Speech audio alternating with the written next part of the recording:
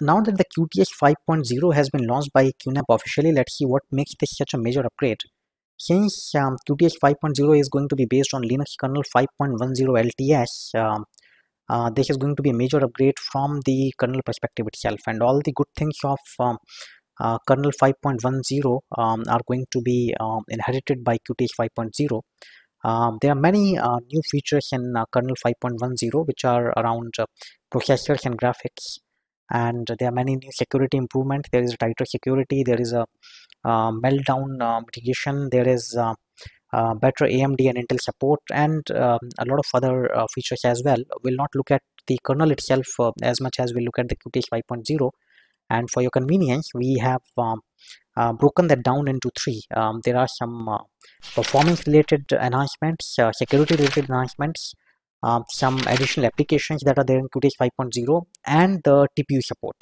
TPU support is not exactly something new because it was added in uh, 4.5.3 but QNAP is continuing it with the QTS 5.0 and we'll see what a TPU is and how it helps you with your uh, AI applications in case you uh, you're interested. Uh, but first let's see who will get QTH 5.0. Not all the machines will be eligible for an upgrade because uh, there are architectural issues but if you own a machine from one of the series that you see on the screen for example if you own uh, QNAP TS451D2 then you will be eligible for an upgrade.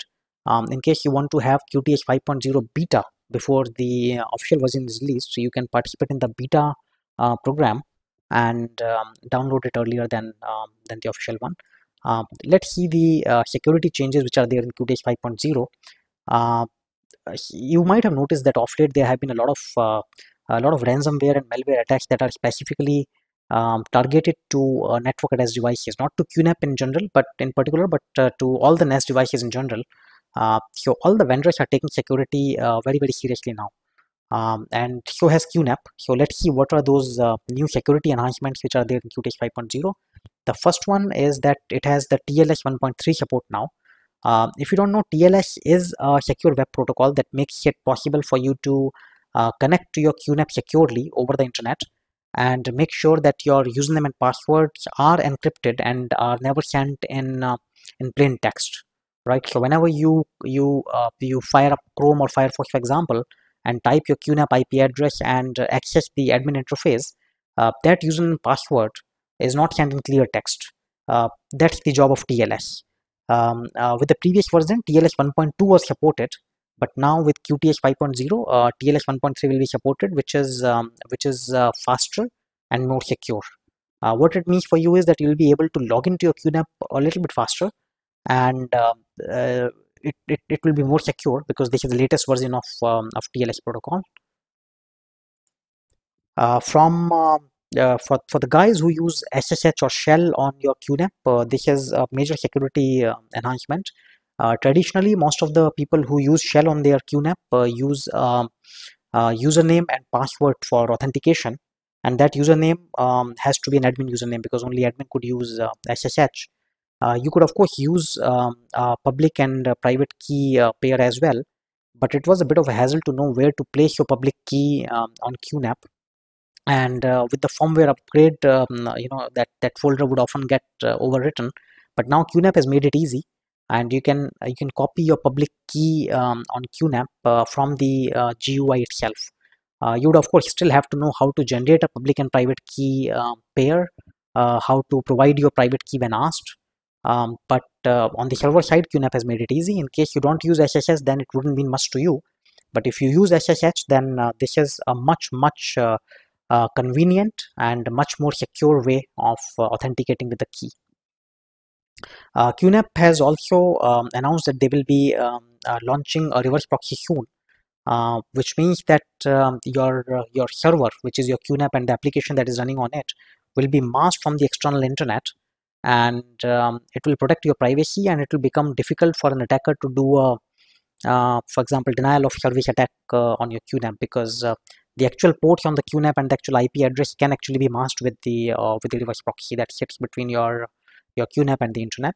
Uh, we don't know much about which reverse proxy would it be because they have not um, uh, launched it uh, in beta, but uh, it will probably be part of the final official version when it comes out. There is also support for WireGuard, which is the, if I might here the word fastest VPN protocol, right? So uh, you would have been using probably OpenVPN so far, which was also extremely easy to implement with the QNAP QVPN. Um, uh, now QVPN will also make it easy for you to use WireGuard. WireGuard is extremely light, which means um, if you have an entry-level machine, uh, you will see a performance improvement immediately because WireGuard runs even on the uh, entry-level processors.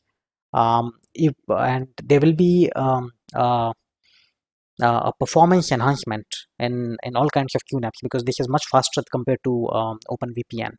Uh, it saves the bandwidth as well and can survive the uh, persistent uh, connections also between boots. So WireGuard is, is, is should be a choice of uh, a choice of VPN uh, once you upgrade to QTS 5.0.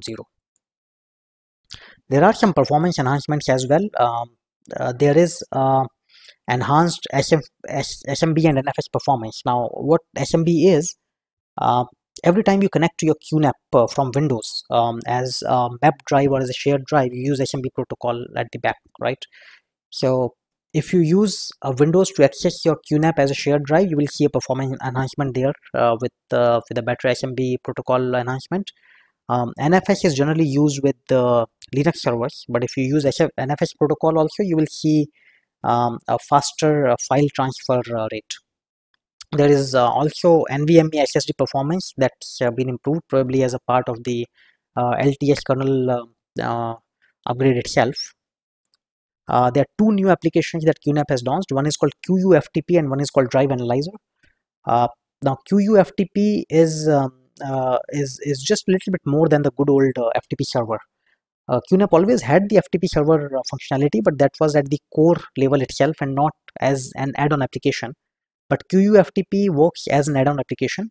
Uh, there is a quality of service built in, which means you can define which user gets to uh, have the best bandwidth and which users or the group of users can uh, uh, should the connection be throttled for.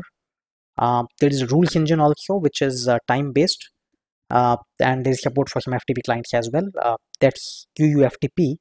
And another application is called Drive Analyzer, which uses AI to uh, monitor your drives. This is a subscription-based service.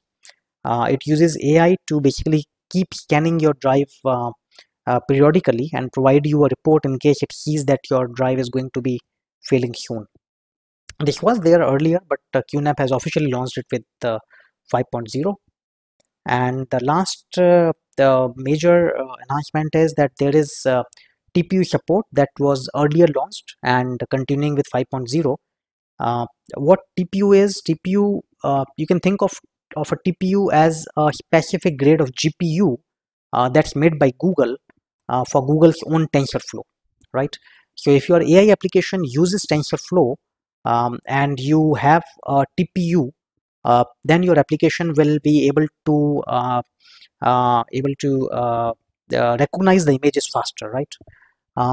It it you you need the the support from the operating system number one. You need the support in the application because that application must be using uh, TensorFlow number two.